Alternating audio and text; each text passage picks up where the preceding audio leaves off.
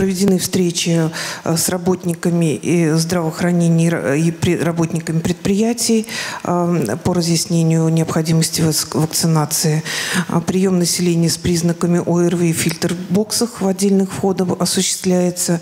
Также обязательное использование средств индивидуальной защиты, в том числе оказание медицинской помощи на дому. Обязательная вакцинация против новой коронавирусной инфекции сотрудников бюджетных учреждений и коммерческих э, предприятий. Показатель на 20, 12, 21, 87, 16. Справки вам предоставлены угу. от плановой численности.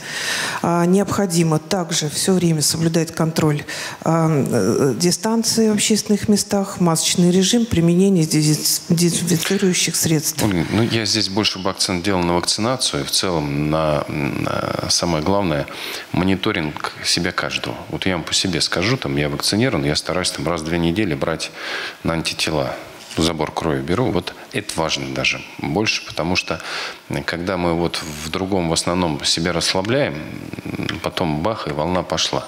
Более того, самое главное, о чем я прошу, дорогие коллеги, услышьте меня. Вот слышите на местах, или видите. Почему я говорю, лучше делать историю, связанную с э, мониторингом замера температуры или коллега, если заболел. Не оставляйте на работе, отправляйте домой.